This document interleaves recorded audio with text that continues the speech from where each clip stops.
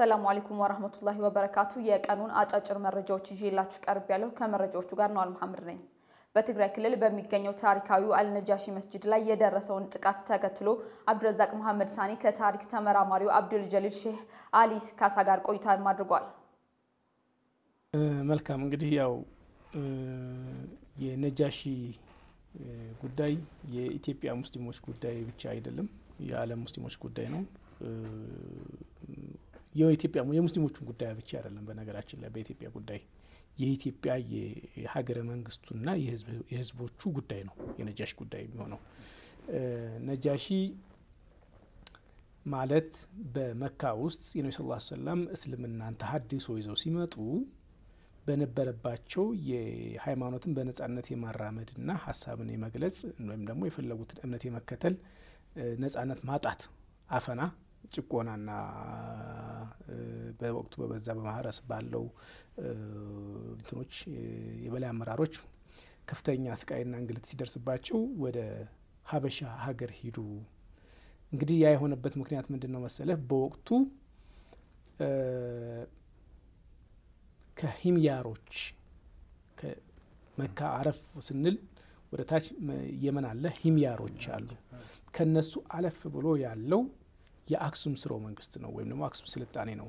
በወቅቱ ከነበሩ በዓለም ላይ ትልቅ ሀያላን ከሚባሉ ነገስታቶች ልክ ዛሬ አሜሪካ ምናምን እንደምንለው ማለት ነው። Roman Empire፣ የፐርሺያ Empire እና የአክሱም Empire በጣም ትልቆች ናቸው፣ ገናናዎች ናቸው። እነዚህ ሶስቱ እየተመካከሩ ብዙ ስራ ይሰራሉ። ስለዚህ ነቢ ስ ሰላም ምን? በቅርበት Byzantine Empire ይቀርባቸዋል። ግን ምን አደረጉ? no ወደ ሀበሻ ምድር ሂዱ። እዛ ምድሪቱ የእውነት ምድር ናት። ንጉሷም ፍትሐዊ የሆነና ማንም የማይበደልባት የሆነች ንጉስ አለና ወደዛ ሂዱ ቀን እስኪወጣልን ድረስ ነው ያሏቸው። ቀን እስኪወጣልን ድረስ ቀን እስኪወጣልን ድረስ። ስለዚህ ኢትዮጵያ የመጡት እነዛ በርካታ ሶሓቢያዎች ወይም የነቢ ስ ሰላም ባልደረባዎች በደንብ አስተውለው ከሆነ የነቢ ስ ሰላም ወሳኝ ቤተሰቦች ጭምር ናቸው ወደዛ የመጡት። የነቢ ስ ሰላም ልጅ አለች፣ የልጃቸው ባል ሚስት፣ የወደፊት ሚስታቸው ጭምር ቅርብ የሆነ የነቢ ስ ሰላም ቅርብ የሆነ ቤተሰባቸው ጭምር ነው ወደ ሀበሻ የመጣው። ያ የመጀመሪያ የልኡክ በእስልምና ታሪክ የመጀመሪያው የእስልምና ሴል ማለት ነው። ያ ሴል መካ ውስጥ በቁረይሾች ከተዳፈነ እስልምና ተዳፈነ ነበር ማለት ነው። ያንን ሴል ወደ ኢትዮጵያ ወይም ወደ ሀበሻ በመላክ የተላከው በጣም important የሆነው important የሆነው ኃይል ነው የተላከው። ወደ ሀበሻ በመላክ ያንን ሴል የተቀበለችው ሀበሻና ከንጉስ ደግሞ አክሱም ላይ አሁን ዛሬ ላይ ያለው ውቅሮ ላይ አይደለም፣ አክሱም ላይ ቤተ መንግስትን አቋቁሞ የነበረው ወይም ደግሞ የአክሱም ስርወ ስልጣኔ አስኳሉ ወይም ደግሞ ዋናው ነው የተቀበላቸው አስሐመት ነጃሽ ማለት ነው። ነጃሺ ሲቀበላቸው ምሁራኖች ምንድን ነው የሚሉት? ኢትዮጵያ የእስልምናን ሴል ወስዳ አሳድጋለች ነው የሚሉት። ያንን ሴል ተቀብላ ማሳደግ ባትችል ኖሮ የመዳፈን አቅም ነበረው፣ እድል ነበረው፣ መጥፎ ጣፋንታፋን ነበረው። ከተቀበሏቸው በኋላ እዚህ ኢትዮጵያ ውስጥ ቆይተው የተመለሱ ሱሐባዎች ምስክርነት ሲሰጡ የሃይማኖት ነጻነታቸው በጣም የተለየ ነበረ። በነጻነት ሃይማኖታቸውን እንዲያመልኩ፣ እንዲሰብኩ፣ በሰላም እንዲኖሩ በሰላም ሰርተው ግርጥረው እንዲኖሩ ትልቅ ስራ የተሰራው። እንደምታውቀው ነጃሺ በነቢ ስ ሰላም ከዛ በፊት አላህ ነቢ ስ ሰላምን አላህ ያሳወቃቸውን ነው የሚናገሩት። ፍትሐዊ የሆነ ምድሪቱም ምድሪቱም የእውነት ምድር የሆነች ንጉሱም ፍትሐዊ የሆነ ንጉስ አለ ነው ያሉት። ይህንን የነገራቸው አላህ ነው፣ ወሕይ ነው አላህ ሱብሃነክ ምክንያቱም ነቢ ስ ሰላም ከነጃሺ ጋር ከዛ በፊት ቀደም ያለ ግንኙነት የላቸው። የላቸውም። እንዳውም ምንድን ነው ነቢ ስ ሰላም ሲወለዱ እኮ ሀበሻዊ የሆነው ሀበሻ የሆነው አብርሃ መካ ድረስ መጥቶ የነቢ ስ ሰላምን ቤተሰቦች ጭምርና ካዕባን ለማፍረስ ብዙ ጥሮ አላህ ጦይረን አባቢል ልኮ ብዙ ነገር አድርጓል።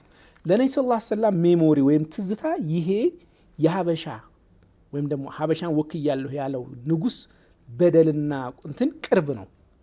ከመልካምነቱና የእሱን ሀቅ ከማወቅ ይልቅ አዎ ያ ቅርብ ነው። በታሪክ memory ያቸው ያ ነበር መምጣት በፍርሃት ነው የሚያውቋቸው። ስ ሰላም አብርሃም ካዕባን ሊያፈርስ መጥቶ በአርባ ቀን ውስጥ ነው የተወለዱት።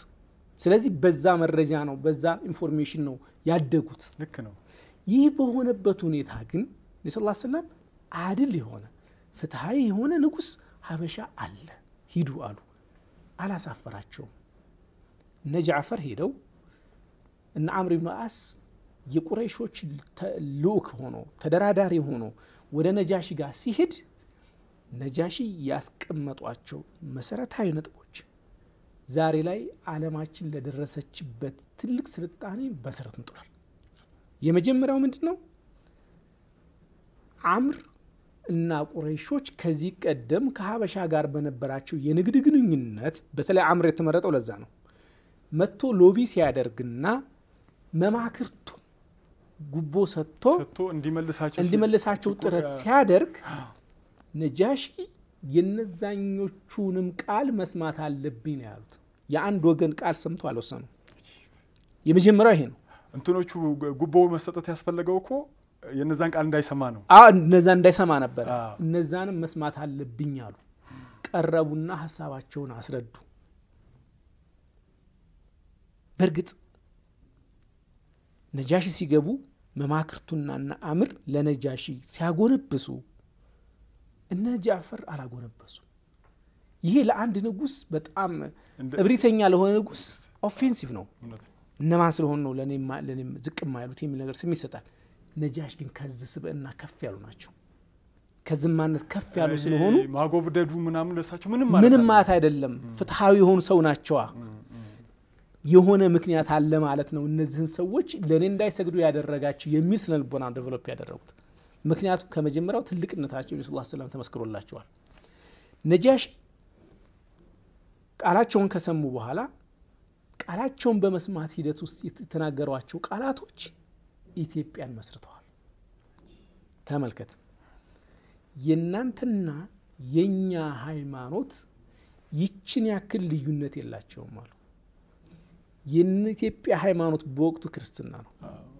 ክርስትናና እስልምና ያላቸውን መለኮታዊ አንድነት በመሰረት ደረጃ confirm foundation ኑን አስቀምጠዋል። ስለዚህ በቀጣይ በኢትዮጵያ ውስጥ እስልምናና ክርስትና በአንድ ኡማዊነት በአንድ ማንነት ውስጥ የሚሄዱ ናቸው እንጂ የሚጋጩ አለመሆናቸውን አሰመሩ። ኢትዮጵያን የዛን ጊዜ ፋውንዴሽኑ የሰሩት የዛን ጊዜ ነው። ሁለተኛው ነገር ደግሞ ለአምር እነዚህን ሰዎች ይህን ያክል ወርቅ ተራራ የሚያክል ወርቅ ነው አይደል? ብታመጣ አሳልፌ አልሰጥህም፣ ለሙስና ወይም ደግሞ ለመታያ ለእጅ መንሻ የማይንበረከክ የሆነ ጽናት ያለው ለፍትህ የቆመ ሰው ነው። በመሰረቱ ነጃሺ በልጅነቱ በባርነት ተሽጦ ሲመለስ ባሪያው ማነው ገዢው ባሪያውን የገዛው ባለ አሳዳሪው ባሪያዬን ባሪያዬን የባሪያነት ገንዘብ ይመለስልህ ሲል ገንዘቡ ይሰጠው ያለ ሰው ነው።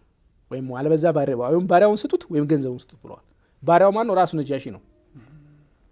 ባሪያው ይሰጠው ከተባለ ነጃሺ ራሱ ነበረ ለ- ለዛ ለ- ለአሳዳሪው መጀመሪያ የሚሰጠው። ይሄ ታሪክ አለ። ከልጅነቱ ጀምሮ በፍትህ የመጣ ሰው ነው። የመጣ ሰው ነው። አዎ።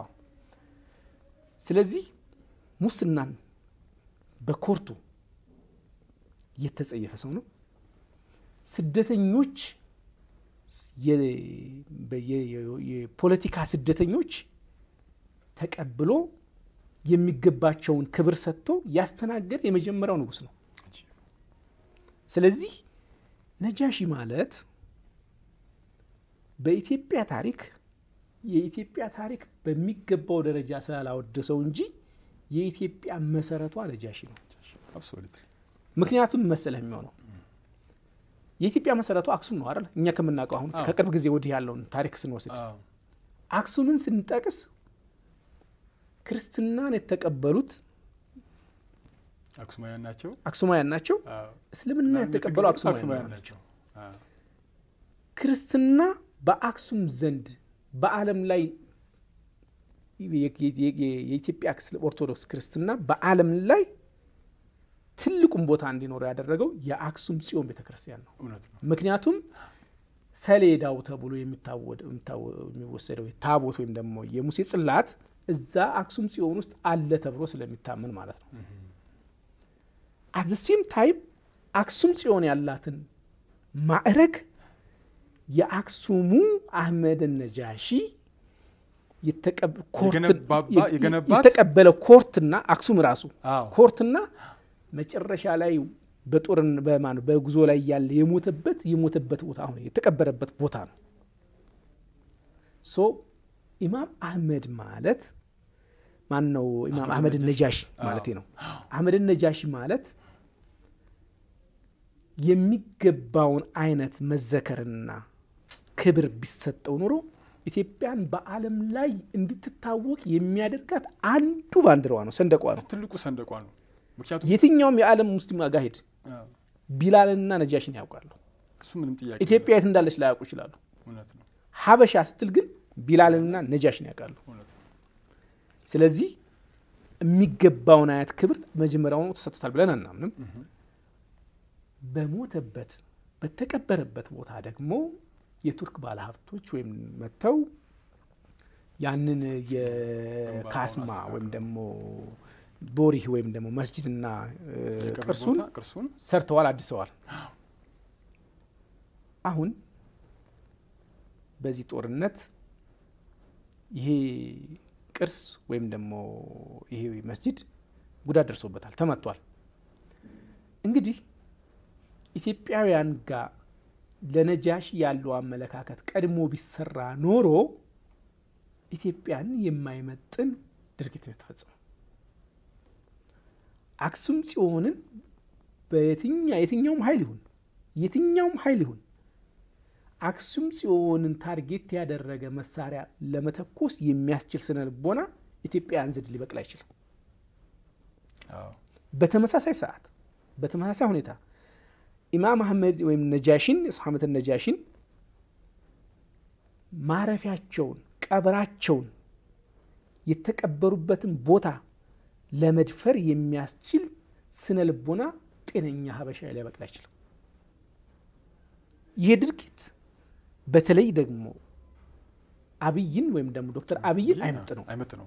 በፍጹም ዶክተር አብይን ከምናውቀው ከሚነግረን ካስነበበን ለባለፉት ሶስት ዓመት ካለው የኢትዮጵያ ሙስሊም ለዶክተር አብይ መንግስት እና ለዶክተር- ለራሱ ለዶክተር አብይ ከሰጠው ግምት አንጻር በፍጹም አይመጥ ነው አይመጥ ነው ከስራዎቹም አንጻር አይመጥ ነው። አይመጥ ነውም ጭራሽ።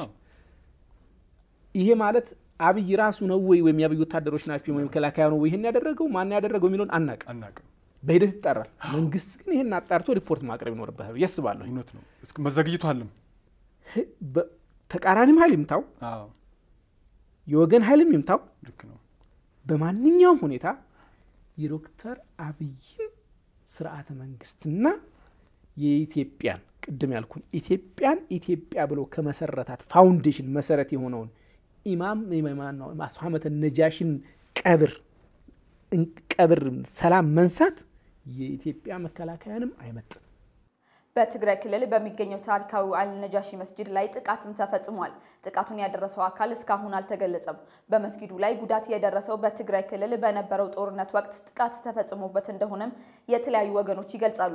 በትግራይ ክልል ባለው ሙሉ በሙሉ የግንኙነት መቋረጥ፣ የትራንስፖርት አለመኖር ምክንያት በክልሉ ላይ ያሉ መረጃዎችን ከገለልተኛ አካላት ማጣራት የሚቻልበት ሁኔታም አልተፈጠረም።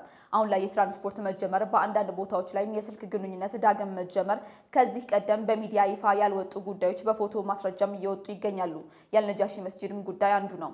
በአልነጃሺ መስጂድ ላይ የደረሰው ጉዳት በፎቶ ከተሰራጨም በኋላ በርካታ የእምነቱ ተከታዮች፣ መምህራን በማህበራዊ ሚዲያዎች ላይ ድርጊቱን እያወገዙትም ይገኛሉ። በየትኛውም የፖለቲካ ልዩነትና ግጭት የእምነት ቦታዎች ኢላማ ማድረግ በየትኛውም መስፈርት ወንጀልና ፈጽሞ ተቀባይነት የሌለው ድርጊት መሆኑንም ገልጸዋል። እስከዛሬ ድረስም የትኛውም የመንግስት አካል በጉዳዩ ላይ የሰጠው ማብራሪያ የለም። የነጃሺ መስጂድ ጥቃትን ተከትሎ የተለያዩ ኡስታዞች በማህበራዊ ድህረ ገጻቸው ላይ የተለያዩ መልእክት ያላቸውን ጽሁፎችን እያሰፈሩ ይገኛሉ። በዚህ ጉዳይ ላይም አብዱል ጀሊል በድሪ ተጨማሪ አለው። ኡስታዝ አቡበክር አህመድ በትግራይ ክልል የሚገኘው የአልነጃሺ መስጂድ ጥቃት ተፈጽሞበት ከፍተኛ ጉዳት እንደደረሰበት ከቦታው ከወጡ ምስሎች ተመልክተናል ብለዋል። የአልነጃሺ መስጂድ ባለቤትነቱ ለኢትዮጵያ ሙስሊሞች ብቻ ሳይሆን ለመላው ኢትዮጵያውያን እንዲሁም ለመላው ዓለም ነው። በዓለም ቅርስነት ተመዝግቦ ከ1400 ዓመታት በፊት ፍትሐዊነትና የሃይማኖት ነጻነት መብት በማክበር ተምሳሌት በሆነው ንጉሥ ስም ስያሜ የተሰጠው ይህ የአልነጃሺ መስጂድ ልዩ ጥበቃና እንክብካቤ ሊደረግለት ሲገባ በከፍተኛ ደረጃ ጉዳት ደርሶበት መመልከት እጅግ የሚያሳምምና የሚያሳዝን ነው። ከ1400 ዓመታት በፊት ከመካ የጣዖት አምላኪዎች ጥቃት ሸሽተው መጠለያ ፍለጋ ወደ ሀበሻ የመጡ የአዛኙ ነቢይ ሙሐመድ ሰለላሁ ዐለይሂ ወሰለም ባልደረቦች ከለላ የሰጠው ፍትሐዊ ንጉሥ መካነ መቃብርና በስሙ የተሰየሙ መስጂድ ከለላና ጥበቃ ሊደረግለት ሲገባ የጥቃት ኢላማ መደረጉ እንደ ሕዝብም ሊያሳምመን ይገባል። የሃይማኖት ተቋማት በተለይም ከሀገር አልፎ በዓለም ደረጃ ቁና ያገኙ ባለቤትነታቸው የሁሉም የሆነው መንፈሳዊ ተቋማት በየትኛውም ጊዜና ቦታ ልዩ ጥበቃ ሊደረግላቸው የሚገቡ ነበር። የሃይማኖት ተቋማት ሰዎች ወደ ፈጣሪያቸው የሚቃረቡባቸው መንፈሳዊ ቤቶች ናቸው። በየትኛውም የፖለቲካ ልዩነቶችና ግጭቶች ኢላማ ሊደረጉ ፈጽሞ አይገባም። አልነጃሺን የመሰለ ታሪካዊ መስጅድና ተቋምን ኢላማ ያደረገ ጥቃት በማንም ይፈጸም በሀገራችንም ሆነ በዓለም አቀፍ ደረጃ ወንጀል የሆነ ተግባር ነው። በአልነጃሺ ስም የተሰየመው ታሪካዊ መስጅድ ላይ የደረሰው ጉዳት ምንም ያህል የከፋ ቢሆንም እንኳን መልሶ የሚጠገንና የሚገነባ ቢሆንም የንጉሥ ነጃሺን ታሪክ ግን ፈጽሞ ከሙስሊሙ ልብ ውስጥ መፋቅ አይቻልም። የፍትሐዊው የአልአስሐማ አልነጃሺ ታሪክ በመላው ዓለም በቢሊዮን የሚቆጠሩ ሙስሊሞች ልብ ውስጥ ያለ በምንም ሊፋቅ የማይችል እስከ ዓለም ፍጻሜ ሕያው እንደሆነ የሚቆይ የሀገራችን ንጉሥ ታሪክ መሆኑ ሊታወቅ ይገባል። በአልነጃሺ መስጅድና በውስጡ ባሉ ቅርሶች ላይ ለደረሰው ጥፋት መንግስት በአስቸኳይ ማብራሪያ ሊሰጥበት ይገባል። መስጅዱም በአስቸኳይ ጥገና ተደርጎለት በቅርቡ ለሙስሊሙ ማህበረሰብ አገልግሎት እንዲሰጥ ሊደረግ እንደሚገባ ለማሳሰብ እወዳለሁ ብለዋል። አክለውም ኡስታዝ ሙሐመድ ፈረጅ አባት የሌለው ተቋም እንዲህ ይደፈራል። በትግራይ ክልል ውስጥ በነበረው ሁኔታ በሌሎች ተቋማት ያልተከሰተ ነገር እንዴት በእኛ ተቋም ብቻ ተከሰተ? ለዛውም በነጃሺ ከተማ። ያ አላህ አፍራሾቹንም አስፈራሾቹንም የአንተን ቤት የደፈሩና ያስደፈሩትን አንተው ማራቸው። ምህረት የማይገባቸው ከሆነ ለሌላው መማሪያ አድርገህ ቅጣቸው በማለት ሀሳባቸውን አስፍረዋል። የነጃሺ መስጅድ ጥቃት ተከትሎ የተለያዩ ኡስታዞችና ሙስሊሙ ኡማ ቁጣውን እንዲሁም ቅርሱ ላይ ጉዳት ያደረሱበትን አካላት ለህግ ይቅረቡ እያለ ይገኛል። ከነዚህም ውስጥ አንዱ ኡስታዝ ካሚል ሸምሱ በማህበራዊ ገጻቸው ላይ ይህን አስፍረዋል። በትግራይ ክልል የሚገኘው ነጃሺ መስጅድና መካነ መቃብር በአጠቃላይ የዓለም ማህበረሰብ ቅርስ ሲሆን በተለይ ደግሞ የዓለም ሙስሊሞች በልዩ ክብር የሚታይ ቅርስ ነው። ይህንን የተከበረ ስፍራ ኢላማ ያደረጉት አካላትና በዚህ አሳዛኝ መልኩ ጥቃት ያደረሱበት አካላት በአስቸኳይ ይፋ ሊደረጉና መንግስት በጉዳዩ ላይ ግልጽ ማብራሪያ ሊሰጥበት ይገባል በማለት ጽሁፋቸውን አጠናቅረዋል። በአፋር አድአር ህዝበ ሙስሊሙ በሰላማዊ መንገድ ተቃውሞውን አሰማ። በአፋር ክልል በተለያዩ አካባቢዎች ሰላማዊ በሆነ መልኩ ተቃውሞም ተደርጓል። በትግራይ ክልል በሚገኘው አልነጃሺ መስጅድ ላይ የደረሰውን ጥቃትም አስመልክቶ ትላንት በአፋር ክልል አድአር ከተማ ህዝበ ሙስሊሙ ተቃውሞውን በሰላማዊ መንገድም አሰምቷል። የአዲስ አበባ መጅሊስን ጨምሮ የሃይማኖት መምህራንና የተለያዩ ተቋማት መንግስት የአልነጃሺን መስጅድ ጥቃት አስመልክቶ ግልጽ፣ ተጨባጭና በመረጃ የተደገፈም ማብራሪያ እንዲሰጥ እየጠየቁ ይገኛሉ። የአፋር ክልል ነዋሪዎችን ባደረጉት ሰላማዊ ሰልፍ ላይ የተለያዩ መፈክሮችን የያዙ ሲሆን ከእነዚህም ውስጥ መጅሊሳችን ከተኛበት ይንቃ የሚለውም ይጠቀሳል። በተመሳሳይም የአርሲ ጮሌ ህዝብ በነጃሺ መስጅድ ላይ የደረሰውን ጥቃት በመቃወም ሰላማዊ ሰልፍም አድርገዋል። የአዲስ አበባ እስልምና ጉዳዮች ከፍተኛ ምክር ቤት በአህመድ አልነጃሺ መስጅድ ላይ የደረሰውን ጥቃት በጥብቅ ያወገዘ ሲሆን መንግስትም ማብራሪያ እንዲሰጥ ጠይቋል። እስካሁን ምንም አይነት ምላሽ ከመንግስትም ይሁን ከመንግስት ተቋማትም አልተሰጠም። የዓለም ሙስሊሞች ቅርጽ የሆነውና እስልምናን ተቀብለው ባስተናገዱት ታላቅ ንጉሥ አልነጃሺ የተሰየመው መስጅድ የመቃብር ስፍራ በጦርነት ወቅት ጉዳት እየደረሰበትና ቅርሶችም እንደተዘረፉ በማህበራዊ ሚዲያዎች በሰፊው መሰራጨቱ ይታወሳል። ይህና የነጃሺ ታሪካዊ ክስተቶችን ፈትያ አንዋር ተጨማሪውን ታቀርብልናለች። የአዲስ አበባ እስልምና ጉዳዮች ከፍተኛ ምክር ቤት አልነጃሺ መስጅድ ላይ የደረሰውን ጥቃት በጥብቅ ማውገዙን የገለጸ ሲሆን የሚመለከተው የመንግስት አካል ይህን ጉዳይ አስመልክቶ ከህዝበ ሙስሊሙ እየተነሱ ላሉ ጥያቄዎች አፋጣኝ ምላሽ እንዲሰጥም ተጠይቋል። የነጃሺን ታሪክ ስንመለከት ነጋሽ ከመቀሌ ወደ አዲግራት በሚወስደው አውራ መንገድ 50 ኪሎ ሜትር ላይ የምትገኝ ትንሽ ከተማ ናት። በተራራ ላይ የተቆረቆረች ይቺ ከተማ ነፋሻማና ከቀደምት ከተሞች አንዷ ናት። የነጋሽ ታሪክ የሚጀምረው ከሰባተኛው ክፍለ ዘመን ነው። ነቢዩ ሙሐመድ ሰለላሁ ዐለይሂ ወሰለም በሀገራቸው ተከታዮቻቸው እስልምናን በሚያስተምሩበት ወቅት ተከታዮቻቸው ቁረሽ በተባለ የዚያ ሀገር ጎሳ አባላት እየታደኑ ይታረዱና ይገረፉ ነበር። ነቢዩ ሙሐመድ ሰለላሁ ዐለይሂ ወሰለም ተከታዮቻቸውን ከጥቃት ለማዳን ሲሉ እንግዳ ተቀባይና ቸር ሕዝብ ወደሚኖርባት የሀበሻ ምድር እንዲሰደዱና ጥገኝነት እንዲጠይቁ አመላክተው ላኳቸው። ስደተኞቹ በሁለት ሂጅራ ወይም ጉዞ ወደ ኢትዮጵያ የገቡ ሲሆን የመጀመሪያዎቹ ተጓዦች አስራ አንድ ወንዶችና አምስት ሴቶች ነበሩ።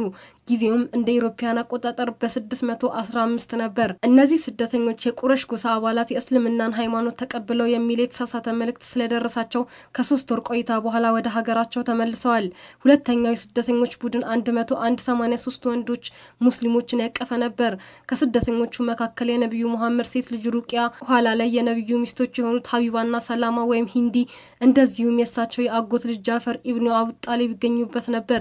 ስደተኞችን በመከታተል ከቁረሾች የተላኩ ሁለት መልእክተኞች ወርቅና ሌሎች ገጸ በረከቶችን ይዘው ንጉሱ ዘንድ በመቅረብ ስደተኞቹን አሳልፎ እንዲሰጣቸው ጠየቁ። ይሁንና የሀበሻው ንጉስ ስደተኞቹን አሳልፎ እንዲሰጥ በቁረሾች ቢጠየቅም ተራራ ያህል ወርቅ ብትሰጡኝም አሳልፌ አልሰጥም በማለት እንደመለሳቸው ይነገራል። ነቢዩ ሙሐመድ ሰለላሁ ዐለይሂ ወሰለም ከኢትዮጵያዊ ንጉስ ጋር የደብዳቤ ልውውጥ ያደርጉ እንደነበርም ጀዋሂራል ኢህሳን፣ ፈታሪክ አልሀበሻን የመሳሰሉ በርካታ የአረብኛ መጽሐፍት እንዲሁም ሌሎችም የዓለም ታሪክ በተሰኘ መጽሐፍትና በሌሎች በርካታ መጽሐፍት ሰፍሮ ይገኛል። ስቱዋርት ሙንሮሄይ የተባለ ተመራማሪ Aksum an African civilization of late antiquity በተሰኘው መጽሐፍ ውስጥ እንደጻፈው ከሆነ የደብዳቤው ይዘት ዳንሎፕ በተባለ አሳታሚ ድርጅት እንደ አውሮፓውያን አቆጣጠር በ1940 ታትሞ ወጥቷል። የሀበሻው ንጉስን በበኩላቸው ሙስሊሞች በቁረሾች ይደርስባቸው በነበረው ጥቃት ተስፋ እንዳይቆርጡ ለማበረታታት በማሰብ ግጥም ጽፈው እንደላኩላቸው ተመራማሪው ጨምሮ ጽፏል። ነቢዩ ሙሐመድ ሰለላሁ ወሰለም የኢትዮጵያ ንጉስ እንግዳ ተቀባይነትና ፍትሐዊነትን በማድረግ ኢትዮጵያን ከጅሃድ ጦርነት ነጻ እንድትሆን ትዕዛዝ እንደሰጡም ይታወቃል። ውቅሮና ነጃሺ በ10 ኪሎ ሜትር ብቻ ነው ተራርቀው የሚገኙት። ከሳውዲ አረቢያ በስደት ወደ ሀገራቸው የመጡት ሙስሊሞች በነጃሺ ከተማ እንደተቀበሩ የአካባቢያችን ታሪክ ያስተምረናል። ስለዚህ ነጃሺ የመጀመሪያው ኢትዮጵያዊ ሙስሊም መኖሪያ የነበረችና ኋላም አስክሬናቸውን በክብር እንዲያርፉበት በአላህ የተመረጠች ቅድስት ከተማ እንደሆነች ሁላችንም ልናውቀውና ልንኮራበት የሚገባ ታሪክ ነው። ይህ በሀገራችን በቅድስትነቱና በቀደምትነቱ በተለይም ከፍተኛ እውቅናና ክብር በዓለም ሙስሊሞች ዘንድ እየተጎናጸፈው የነጋሽ መስጅድ ሁለተኛ መካ በመባል እንደሚታወቅም መገንዘብ ያሻናል። በአሁኑ ሰዓት በነጃሺ ከተማ አንድ ትልቅ መስጅድ፣ ሁለት ደሪሆ ወይም ሬሳ ያረፈባቸው ህንፃዎችና በርካታ መቃብሮች ይገኛሉ። በዚህ 12 ሜትር ርዝመት ያለውና ዙሪያውን በብረት አጥር የታጠረ መቃብር ከሳዑዲ አረቢያ በስደት መጥተው እዚያው የቀሩ ሙስሊሞች ይገኙበታል።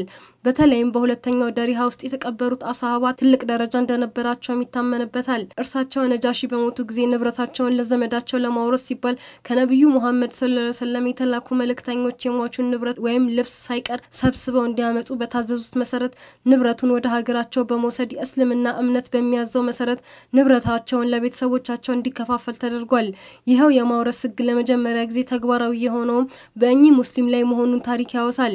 የነጃሺ መቃብር ለዓለም አቀፍ ሙስሊሞች ትልቅ ክብር የሚሰጣቸው የሃይማኖታዊ ጉዞ መዳረሻዎች አንዱ እንደመሆኑ መጠን የቱርክ መንግስት ይህን ታሪካዊ ስፍራ ለማደስ ያደረገው ድጋፍ ሃይማኖታዊ ተልእኮ ተደርጎ የሚታሰብ ነው። የንጉስ አርማሃን ባለውለታነት በዓለም አቀፍ ሙስሊሞች ዘንድ እንዲታሰብ ያደረገውም የእስልምና ሃይማኖት በተጀመረበት በሰባተኛው መቶ ክፍለ ዘመን የመጀመሪያዎቹ ሙስሊሞች በሀገራቸው በደረሰባቸው ስደት ምክንያት መጠጊያ ሲሹ እጃቸውን ዘርግተው የተቀበሏቸው ብቸኛ የዓለም መሪ ስለነበሩም እንደሆነ የእስልምና የታሪክ ድርሳናት ያስረዳሉ። ከቅርብ ጊዜ ወዲህም በኢትዮጵያውያን ሙስሊሞች ዘንድ ከንጉስ አርማህ ታሪክ በተለየ ሁኔታ መወሳት ጀምሯል። ንጉስ አርማህ ለብዙ ኢትዮጵያውያን ሙስሊሞች የመጀመሪያው ኢትዮጵያዊ ሙስሊም ንጉስ ተደርገው በመወሰድ የኩራት ምንጭ እንደሆኑም ይነገርላቸዋል። ምንም እንኳን የንጉስ አርማህም ሆነ የሌሎች የዚህ ዘመን የአክሱም ነገስታት ታሪክ ከመረጃ መጥፋት ምክንያት ብዙ የማይታወቅ ቢሆንም ንጉስ አርማህ ግን እንደ እስልምና እምነት ባለውለታነታቸው በእስልምና ድርሳናት ውስጥ በተሰጣቸው ስፍራ ምክንያት እስካሁን ድረስ ስማቸውን ለመጠራት ያበቁ አክሱማዊ ንጉስ ሆነዋል። ምናልባትም በእስልምና እምነት ውስጥ ትልቅ ስፍራ ከተሰጣቸው ቀደምት ኢትዮጵያውያን መካከል ከእስልምናው ነቢይ ሙሐመድ ጋር የቀረበ ትውውቅ ከነበራቸው ኢትዮጵያዊቱ የነቢዩ አሳዳጊና የጸሎት ማንቂያ የሆነውና አዛን በመባል የሚታወቀውን ጥሪ የጀመሩት ሌላው ኢትዮጵያዊ ቢላል ጋር ተጨምሮ በነቢዩ ሙሐመድ ዘንድ ሰለላሁ ዐለይሂ ወሰለም ስለ ኢትዮጵያ መልካም ዝናን ሳያተርፉላት እንዳልቀሩም ይገመታል። በሃይማኖታቸው ምክንያት በግፍ ተሰደው የነበሩትን ሰዎች ተቀብለው ጥበቃ በመስጠታቸውና በሃይማኖታቸው ምክንያት ተጽዕኖ ሳይደርስባቸው እንዲኖሩ በመፍቀዳቸው ዓለም ከብዙ ዘመን በኋላ ተስማምቶ የደረሰበትን የስደተኞችን የሰብአዊ መብት የማስጠበቅ ተግባር ፈጽመዋል። በኢትዮጵያ እስካሁን ድረስ የዘለቀውንም በሁለቱ ሃይማኖቶች መካከል ያለውን ያለውን ወንድማማችነት ፈርቀዳጅ ሆነውም አኩሪ ተግባር ፈጽመዋል። በዚህ ሁሉ ሃይማኖታዊም ሃይማኖታዊ ያልሆነ ተግባር ምክንያት የንጉሱ ታሪክ የበለጠ ገናናነት የሚገባው ሆኖ ሳለ እንደ ብዙዎቹ የአገሪቱ መልካም መለያዎች ሁሉ በዓለም አቀፍ ደረጃ የሚገባውን ያህል የታወቀ አይደለም። ከጥንታዊ መስጅድ ውጭ አንድ ዘመናዊ መስጅድ የተሰራ ሲሆን አሰሪውም አንድ ምግባረ ሰናይ ሰው ናቸው። የመስጊዱና የመቃብሩ ዓመታዊ ጉብኝት ወይም ዝያራ ቀን በአረቦች አቆጣጠር ሙሐረም አስር ቀን ወይም በአሹራም ይከበራል። ተቋርጦ የቆየው በታላቁ ህዳሴ ግድብ ዙሪያ የሚደረገው ስብሰባ ትላንት ሲካሄድ ግብጽ በአፍሪካ ህብረት ሊቀመንበር የተሰየሙ ባለሙያዎች ያቀረቡትን ረቂቅ ሰነድ እንደማትቀበለው ማስታወቋን የኢትዮጵያ ውሃና መስኖ ኢነርጂ ሚኒስቴር ገለጸ። ዳኛቸው ኃይለማርያም ተጨማሪውን ተመልክቶታል። ግብጽ በባለሙያዎች የቀረበውን ሰነድ አልቀበልም ማለቷ የተነገረ ሲሆን ኢትዮጵያ፣ ሱዳንና ግብጽ በአፍሪካ ህብረት አማካኝነት ሲያካሂዱት የቆየው የበይነ መረብ ውይይት ለአንድ ወር ያህል ተቋርጦ ቆይቶ ሲጀምር በባለሙያዎች የቀረበውን ረቂቅ ሰነድ ኢትዮጵያና ሱዳን በአዎንታዊ መልኩ እንደሚቀበሉት አስታውቋል ብሏል። ሚኒስተሩ ባወጣው መግለጫ በሶስቱ ሀገራት መካከል መልሶ የተጀመረውን ስብሰባ በደቡብ አፍሪካ የዓለም አቀፍ ግንኙነትና ትብብር ሚኒስቴርና በአፍሪካ ህብረት አስፈጻሚ ምክር ቤት ሊቀመንበር ሰብሳቢነት ተካሂዷል። ትላንት በተካሄደው ውይይት ላይ የሶስቱ ሀገራት የውጭ ጉዳይና የውሃ ጉዳይ ሚኒስትሮች የተሳተፉ ሲሆን የህዳሴው ግድብ ድርድር በሚቀጥልበት ሁኔታ ላይ ምክክር ማድረጋቸውና የአፍሪካ ህብረት ሊቀመንበር የሰየሟቸው ባለሙያዎች ባቀረቡት ረቂቅ ሰነድ ላይ መወያየታቸውም ተገልጿል። ሚኒስትሩ ኢትዮጵያ የቀረቡን ሰነድ እንደምትቀበለውና በቀጣይ በሚካሄደው ድርድር ሰነዱን እንደ ግብአት ለመጠቀም ፈቃደኛ መሆኗን እንዳሳወቀች ጠቅሶ ሱዳንም ሰነዱን ለሂደት ጠቃሚ አድርጋ እንደምትመለከተው በመግለጽ ድርድሩን መቀጠል ፍላጎት እንዳላት ስታሳውቅ የግብፅ ወገን ሰነዱን ጨርሶ እንደማይቀበለው ገልጧል ብለዋል። ሚኒስትሩ በመግለጫው ላይ እንዳሳወቀው የህዳሴ ግድብ ሙሌትና ዓመታዊ አስተዳደርን የሚመለከተው ሰነድ ላይ የሚደረገው ድርድር በአመዛኙ መግባባት የተደረሰበት መሆኑን አመልክቶ ወደፊት በአባይ ተፋሰስ ላይ ከሚገነቡ የውሃ ልማት ስራዎች ጋር የሚኖረው ቁርኝነት ዋና የልዩነት ሀሳብ ነው ሲል ገልጿል። የውሃ መስኖና ኢነርጂ ሚኒስትሩ ዶክተር ኢንጂነር ስለሺ በቀለ ውይይቱ ከመጀመሩ በፊት በትዊተር ገጻቸው ላይ እንዳሳፍሩት ሶስቱ ሀገራት በታላቁ ህዳሴ ግድብ የመጀመሪያ ደረጃ የውሃ ሙሌትና በዓመታዊ የስራ ሂደትን በሚመለከት ደንቦችና መመሪያዎች ላይ ውይይት እንደሚደረግ ገልጸው ነበር። ሚኒስተሩ ጨምሮም በአሁኑ ወቅት ላይ የሚደረገው የውሃ ሙሌት ውይይት ግድቡን ሙሉ በሙሉ በውሃ መሙላት የሚመለከት መሆኑን አብራርቷል። ታላቁ የኢትዮጵያ ህዳሴ ግድብ የውሃ ፍጆታ የሌለው የኤሌክትሪክ ኃይል ማመንጫ በመሆኑ የሚደረሰው ስምምነት ይህንን ከግምት ያስገባና የተሟላ የውሃ ስምምነትና ፍትሐዊ አጠቃቀም እንዲኖር ኢትዮጵያ እንደምትፈልግ የጠቀሰው የሚኒስትሩ መግለጫ ስምምነቱ የኢትዮጵያን የመጠቀም መብት የሚያቅብ እንዲሆን አትፈቅድም ብለዋል። የሶስትዮሽ ውይይቱ የሀገሪቱ ባለሙያዎች በሚያደርጉት ውይይት ስምምነቱ የተደረሰባቸውንና የልዩነት ሀሳቦችን በቀጣይ ሳምንት በሚያካሂዱት የሚኒስትሮች ስብሰባ ላይ እንደሚያቀርቡና ውይይቱ እንደሚቀጥል ተገልጿል። በድርድሩ ላይ በታዛቢነት የሚሳተፈው የአውሮፓ ህብረት የሶስቱ ሀገራት ውይይት መልሶ መጀመሩን በተመለከተ በቃል አቀባይ በኩል ባወጣው መግለጫ ላይ ውይይቱ ግድቡን ስለ መሙላትና ተያያዥ ጉዳዮች ላይ ወደ ስምምነት ለመድረስ እድልን ይፈጥራል ብሏል።